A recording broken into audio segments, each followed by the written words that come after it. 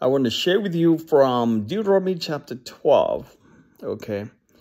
Deuteronomy chapter 12, verse 20 onwards. So when the Lord your God enlarges your territory as he has promised you, and you say, I will eat meat because you crave meat, you may eat meat whenever you desire. All right. 21. If the place that the Lord your God would choose to put his name that is far from you, all this, you know, all this stuff. Okay. Verse 23, only be sure you don't eat the blood, for the blood is in the life. You shall not eat the life with the flesh. Shall, you shall pour it out, etc. Verse 26, but the holy things are due from you, and your vow offerings shall take and shall go to the place the Lord will choose. Verse 27, okay, and you offer your burnt offering, the flesh and the blood on the altar of your God. The blood of the sacrifices shall be poured out on the altar of the Lord your God, but the flesh may eat.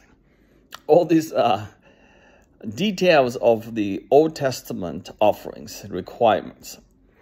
But I want you to take notice of verse 28. But it says, Be careful. The Lord God, God says this be careful to obey all these words that I command you, that it may go well with you and with your children after you forever.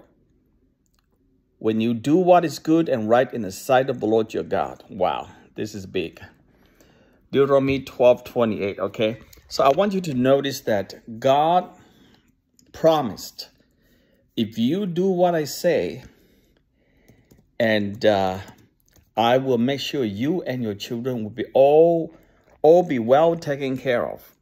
All right. This is a huge promise. In other words, if you don't, you may not, you know, you may not be well taken care of. I don't know. You know, this is the, the promise of the word of God. Be careful to obey all these words I command you may go well with you. And you children, what are the words that God commanded you? In this case, is you know, it's the Old Testament, the New Covenant. Uh, like you may not eat of the blood, uh, you make you should make your offerings to the in the go to the place where the Lord choose, and you offer your burnt offerings and all this stuff. And he says here that, um, in fact, it is really revealing. It says here that um, you should that your that you and your children, if you obey all these words I commanded, you may go well with you and with your children after you forever when you do what is right, what is good and right in the sight of the Lord your God. In other words, God watches over you. God watches over all of us. I know there is a tension about you. You see, these kind of words may mislead people that, oh, I want to go to do well with my life. I want my children to do well after me forever you know, then I should do good and right in the sight of the Lord your God, uh, of the Lord our God. Basically, it's to please God. You know, in, in the idolatry worship, this is what they got this, uh, what do you call this? To appease God. You keep off sacrificing.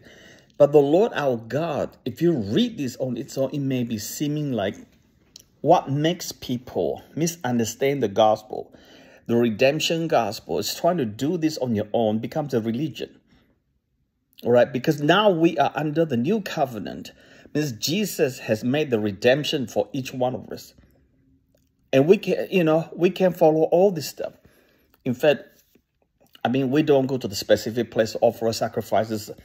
A lot of that are no more applicable, but it's been fulfilled in different way because Jesus is the temple. All right, but we can take this, however, we can take that. If we obey the Lord our God, it may go well with us and our children forever. Now, this go well, you know, is somewhat is again confusing because in the in the new in the new covenant, in the gospels, a lot of times even Paul asks us to share sufferings with Christ. So I will argue that go well with so that we obey the word of Christ or obey the word of God and from the Bible, they may go well with us and our children when we do right, good, and right in the sight of God. does not necessarily exclude any sufferings in times of persecutions because of the spiritual warfare we're in. So this doing good, go well, means go well that we may be able to wage a spiritual warfare. Wow, this is new to me. Do you agree with that? I would say so. Because if you read that and try to do, try to interpret it, to exegete it directly, you cannot reconcile. Half of the Psalms is, is lament. Why the guy like Job has to lament so badly? It was a test in his life. Did his life go well? Horrible. Nothing went well. But in the end, it went really well. You know? And Jesus talked about the kingdom is a spiritual kingdom. You know, that a lot of people sacrificed on earth, but their faith keeps them going because they see what is coming ahead of us. And that is, to me, is actually what it means to go well with you and your children. I won't be able to cover all this in a short period of time here. But I'm just arguing for the fact that verses like this in the Old Testament can be very confusing. It may go well with you. To define that go well with you and with your children means you actually fight the journey, fight the fight a good fight, run a good race for the Lord. Go well does not necessarily mean you have a nice house and you know have a good education, good job or not. Though they are important, but this that that will not be the overall definition of what means to to to to go to to uh, to go to be well with you and your children after you forever. And interestingly, it says forever. How can you be forever? Because you don't know your children or your your future grandchildren and great grandchildren how they're going to behave. David, the greatest king of Israel, one generation, his son already screwed up, completely left the Lord. Two generations later, it's gone worse. And third generation, fourth, there some generations got become better as again, you know, until hit the Lord Jesus Christ. My point is that this forever can only be realistic, can become real in and through the Son of David, our Lord Jesus Christ, the Son of God, hallelujah, himself. And uh, the other thing I would say that it, it often it's you notice that how God always put it like for, it may go well with you and your children, you and your children, you and your children. God is very family focused. God is very family centered. To say that you don't look after your children, you don't have any expectation of your children, you don't have any prayer, a burden, and cry out to God for your children, it's not biblical.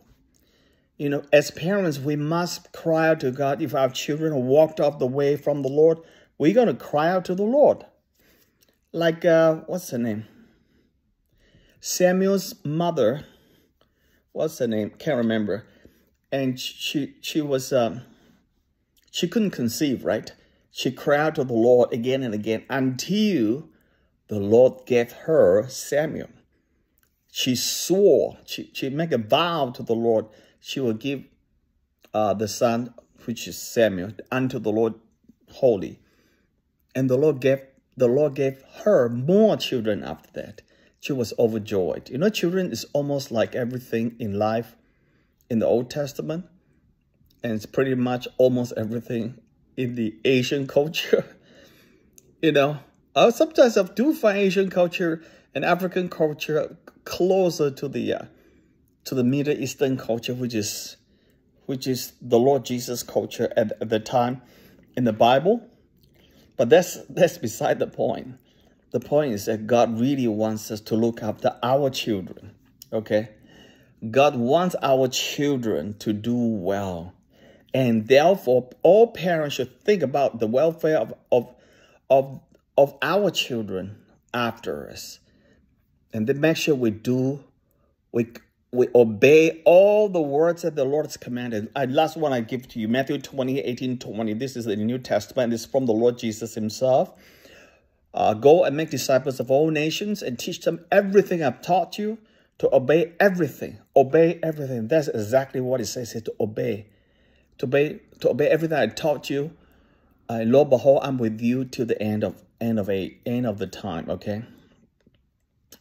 So so this is clearly clearly the uh, the case of uh, God wanting to us to know that He is calling us for big things to to uh, to make disciples of all nations, baptize in the name of the Father, Son, Holy Spirit, teaching them to observe, to obey, you know, teaching them to obey everything I've commanded you. Behold, I'm with you to the end of the age.